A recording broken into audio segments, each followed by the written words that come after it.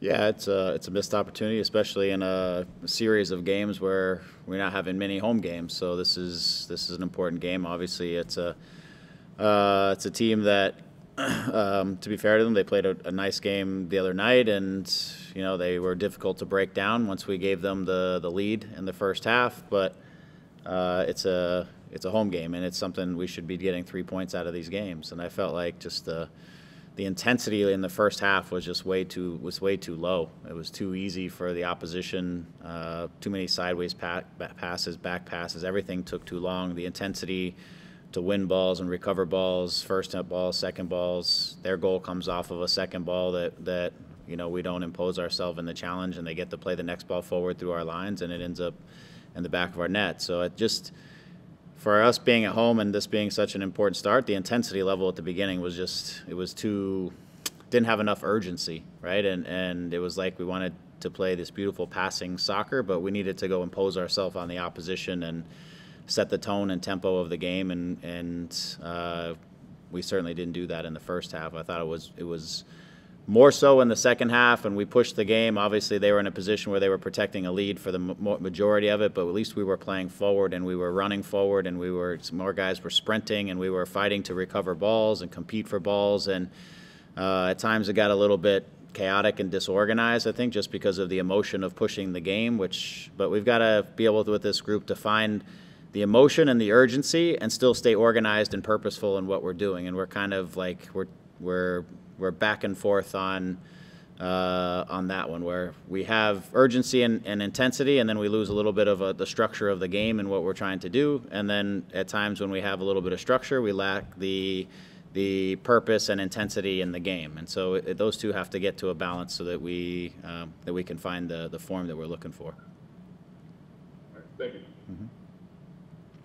Next, go to Josh Gessman. Hey, Greg. Thanks for the time. Um, what what did you see from Chicharito? Obviously, he gets his 11th goal of the season. Uh, it looked like he had a good combination with uh, with Joveljic there in the second half. Um, are, were you happy with that partnership? Yeah, I, I, think it's a partnership that can certainly flourish. They have they don't have many minutes together and have many training sessions together either. So it's it's early days. Uh, but anytime you also play with two forwards, you've got to build a nice structure and be able to protect yourself around it and be able to hold the ball and be able to do some different things be able to get the ball wide into wide areas, deep to the end lines, and get yourself in crossing positions, things like that. If you're going to have two guys in front of the box or, or in front of the goal like those two. Uh, so it, it's you know it's a little bit different setup than what we've had through ma- majority of the season, which the whole group has to get used to. Which you know we need a little bit of training time to work through that. It's not something you want to you want to spend a lot of time working through on the on a match day. And so, um, but yes, they're they're obviously two guys who can complement each other. Obviously, Dejan set set Javi up a couple times uh, so they can they can also play uh, play that role as well with with one another. So it, it was nice to see them on. But again, for me, it's just the broader collective performance that we have to we as a group have to get to another level. I know after last game you said you didn't want to say it, but team only gave up one goal, and that was better than giving up multiple goals. Do you feel like the defense is, is taking steps forward, or, or are you still sort of somewhere in between?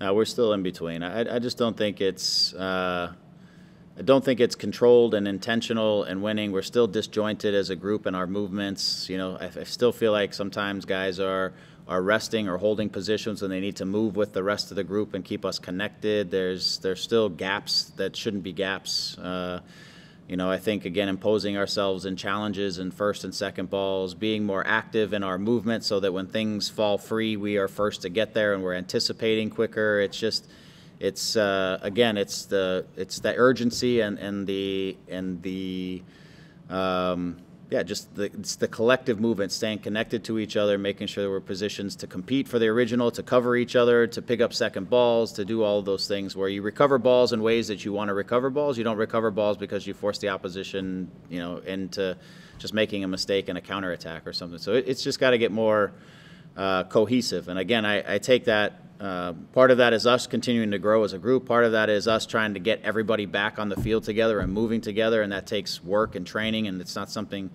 so we- we've got to we've got to build through this this series. It is what it is, and we are where we are. But we've got to um, we've got to find every moment we can to just try to connect this group back together again and and get it uh, get ourselves moving more cohesively as a group. Whether that's with two forwards or, or one or whatever that looks like, it's just got to be again more connected. Thanks, Greg. Yep. All right, thanks for your time, Greg. Okay. Thanks.